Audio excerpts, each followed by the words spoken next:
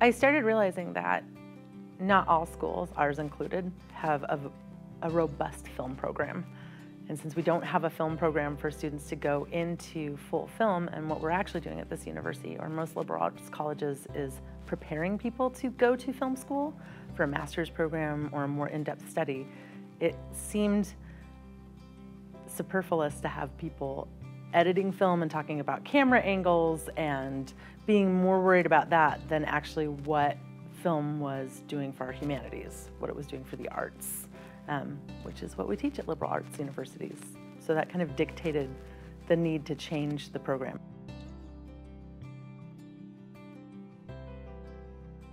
The biggest problem was we were using a singular text, and the singular text had one voice that, although it was very good, was not necessarily effective. And the biggest part of it not being effective was these solid base texts or single texts cannot accommodate multiple accessibility issues. Multiple accessibility issues being students that might need to upload documents to a Brailleite or students that need to enlarge texts. It also didn't accommodate for students to be able to access online from any platform because textbook companies are exceptionally good at writing textbooks, but they're not very good at being technical support.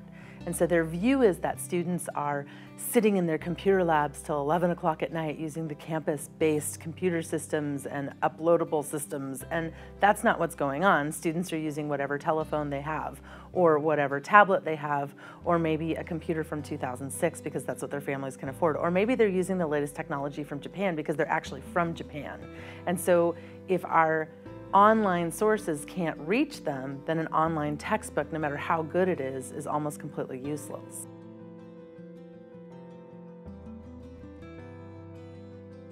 Textbooks are generally written by academics. Generally, those academics tend to have tenured positions, um, and that means that they're mostly older, affluent, white gentlemen.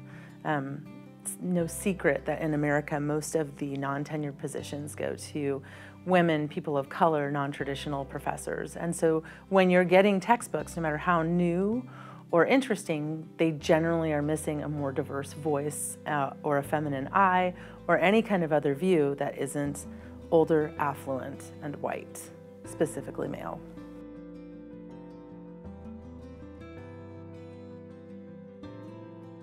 Being a feminine professor that teaches film is actually not something that happens pretty much anywhere, not even here on campus. Like I'm the only one that teaches film that happens to be a femme person.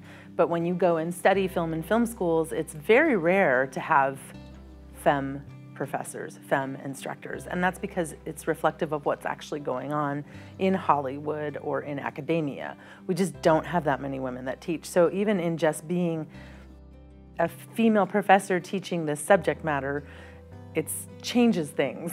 looking for films that have, that pass the Bechdel test. Looking for films that don't just tell the story of a young white male overcoming his trials. So I had already started removing a lot of what we traditionally teach in film classes, Citizen Kane, Butch Cassidy and the Sundance Kid, The Graduate, etc., in order to start showing a more broad view.